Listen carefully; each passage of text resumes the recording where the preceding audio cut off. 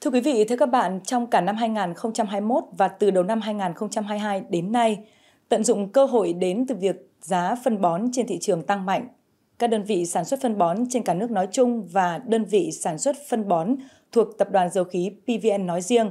đã gia tăng sản lượng đáp ứng tiêu dùng trong nước, đặc biệt là xuất khẩu, đem lại hiệu quả kinh tế cao.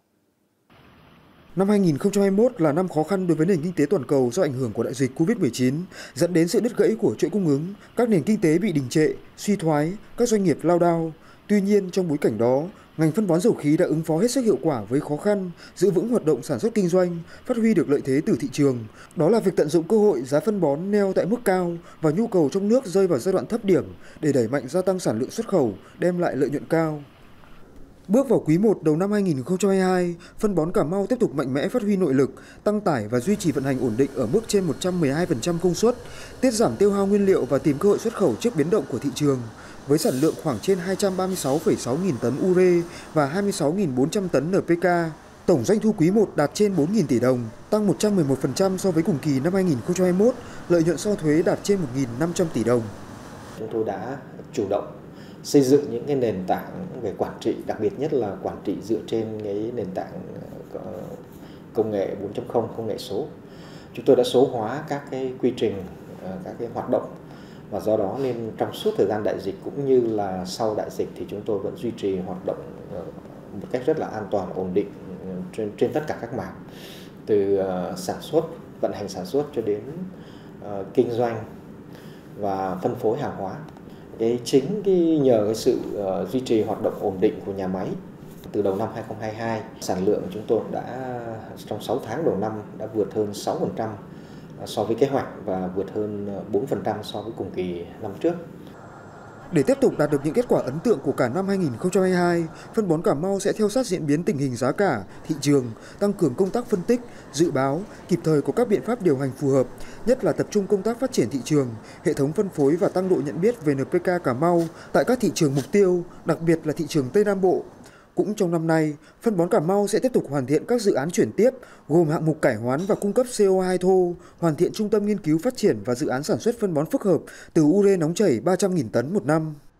Trong tương lai thì sẽ bổ sung nghiên cứu bổ sung các cái ờ, mặc dù là đã đạt chất lượng tốt rồi nhưng chúng tôi nghiên cứu để bổ sung các cái vi lượng ờ, vi lượng à, hoặc là, là giúp cho hoặc là vi sinh giúp cho cái tạo, gọi là, cải thiện cái điều kiện đất như là cái ờ, giảm thì bảo vệ cái môi trường. Thì trong đó thì như vậy, cụ thể là dụ như là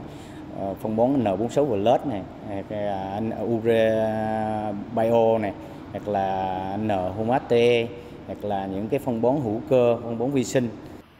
Năm 2022, Tổng công ty cổ phần hóa chất và phân bón dầu khí PVFCO đề ra kế hoạch kinh doanh với một số chỉ tiêu tài chính đặt ở mức tương đối thận trọng với tổng doanh thu trên 11.000 tỷ đồng, lợi nhuận sau thuế đạt 945 tỷ đồng, giảm 68,8%. Tuy nhiên ngay từ đầu năm, doanh nghiệp này đã trúng gói thầu xuất khẩu và đã kịp xuất bán một sản lượng lớn sản phẩm, ước tính lợi nhuận thu về từ 1.000 đến 1.100 tỷ đồng. Mức lợi nhuận này đã vượt cả kế hoạch doanh nghiệp đề ra cho cả năm 2022 là lãi sau thuế 945 tỷ đồng.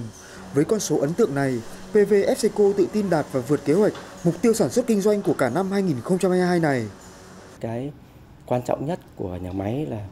là, là đảm bảo cho cái thành phần dinh dưỡng lúc nào nó cũng phải đầy đủ.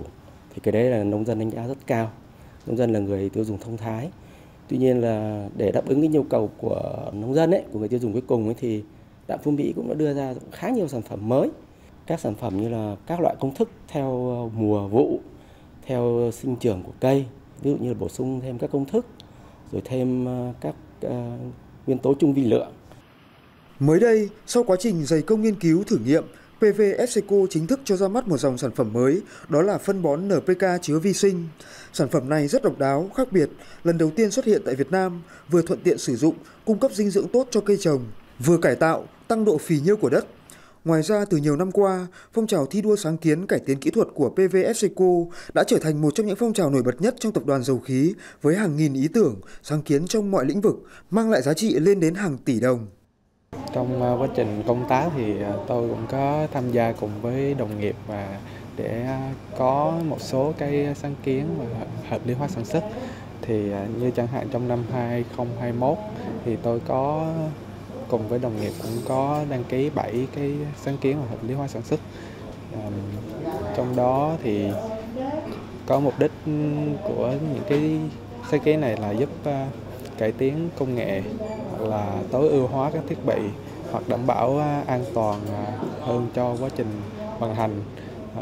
quá trình làm việc của các cán bộ công nhân viên. Để liên tục giữ vững danh hiệu hàng đầu trong ngành sản xuất phân bón của cả nước trong suốt gần hai thập kỷ qua, các đơn vị sản xuất phân bón thuộc tập đoàn dầu khí đã không ngừng đầu tư, nâng cao chất lượng sản phẩm, dịch vụ phục vụ khách hàng, đồng thời phát triển đa dạng sản phẩm mới. Các doanh nghiệp lĩnh vực phân bón dầu khí cho biết sẽ tiếp tục nắm vững các mục tiêu định hướng thị trường, tăng trưởng bền vững và mang lại giá trị cho xã hội, cho cộng đồng, nỗ lực đến năm 2025 sẽ trở thành các doanh nghiệp hàng đầu trong sản xuất kinh doanh phân bón tại Việt Nam và Đông Nam Á.